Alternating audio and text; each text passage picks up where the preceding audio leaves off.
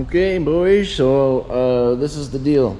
On a uh, double layer wall, you got to stagger your uh, vertical and horizontal joints. So I always start it off with a six inch strip on the bottom. That way, the first layer I put up on top of that, it'll finish six inches above the first layer. Um, I went and got my layout, so we got to stagger our layout on either side of the wall, okay? But it is double layer, so uh, we we can do it uh, the same on both sides. It'll be super strong at the end, okay? Like typically you want to go do one layout on one side and the other on the other. The six inch strip on the bottom on both sides here. And uh, yeah, so away we go. We'll start with stand up 12s, first layer, and then we'll cut our tops up.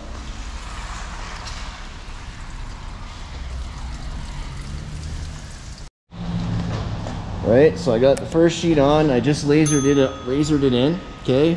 And the wall surprisingly is pretty level, so we're, we're looking good there. Um, so I got this one, uh, but I'm not gonna put this piece in first. I'll put that in second. I wanna get another sheet uh, and then put the, start a full 48 here and then cut into the wall, right? So that's the plan. Looking good.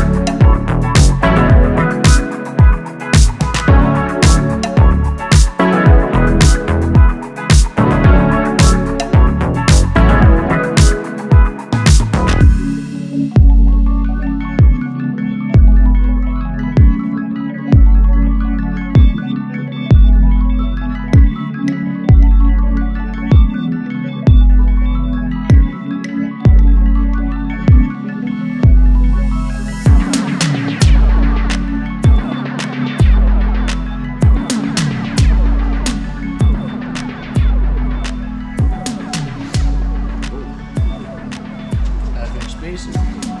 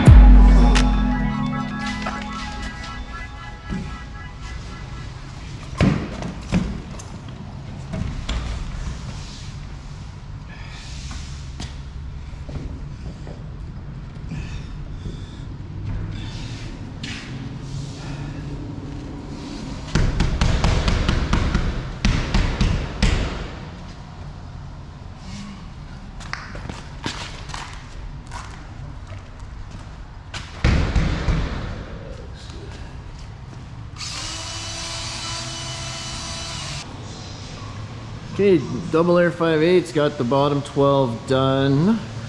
Gonna start tops now. It's kind of like a space game where to put everything, so we gotta do it in a special certain order, right? But uh, once we get the board done, I can tape it and then finish the framing. Because yeah, it's got to be done. Uh, but anyways, I only have the fire tape,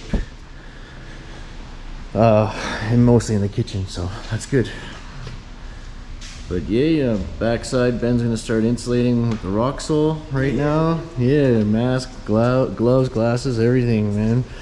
And then this again is open. Gotta finish the main wall. All right, so anyways, first thing to do is we break bags and we set it like we just set up a bunch of insulation. You'll see